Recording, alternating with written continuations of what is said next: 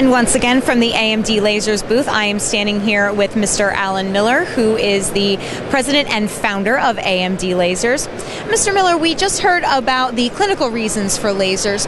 Why AMD Lasers? You know, I think dentists make AMD lasers and a Picasso their first choice for three reasons.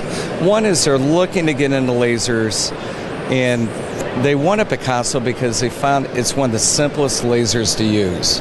And we all know that simple equals utilizing the technology much quicker.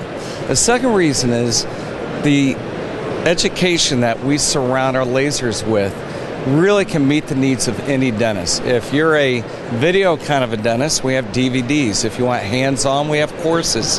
We have one of the only iPad apps in the world. So if you have your, your iPad, your most favorite thing, download the AMD Lasers app and you can learn that way. So it really doesn't matter how you want to be educated on lasers, we have a good solution.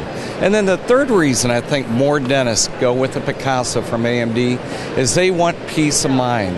And with the backing of Dentsply as our parent company, they know that we're going to be here to take care of their all their needs for many years to come. Wonderful. Thank you so much.